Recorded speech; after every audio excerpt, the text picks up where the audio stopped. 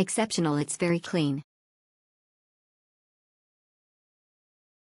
Amazing best customer service experience. The hotel is nice and you get what you pay for. The hotel was very nice and affordable and the staff is great. I had reservations at another hotel but they wouldn't take my card type but this hotel I found late night and last minute was okay with me and glad I got to stay here. Good bay binds. It was nothing wrong with my room at all I loved it and will be coming back all pros no cons. Paul. This is our first time staying in Atlanta. Very nice hotel, staff is friendly, restaurant inside the hotel, indoor slash outdoor pool. Right off the interstate. It's a little bit of a drive from the airport but it's nice to be outside the city and just drive in. Get here early.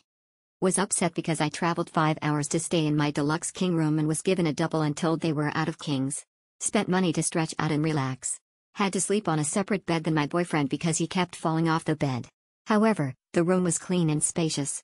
Lots of children though. Don't think I'll be returning but would recommend for a family on vacation. Waffle House was right next door as well. Nice and clean it was a nice and clean older hotel that could use some updating.